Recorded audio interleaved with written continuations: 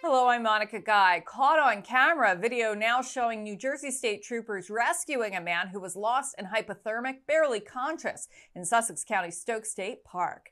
In Bridgewater, the mayor unveiled a new program to improve community policing. It's created by the police chief and it's called Bridgewater Shield. The U.S. Postal Service in Ocean City will be collecting food for families in need Saturday, January 14th. Just put your donations in a bag at your mailbox.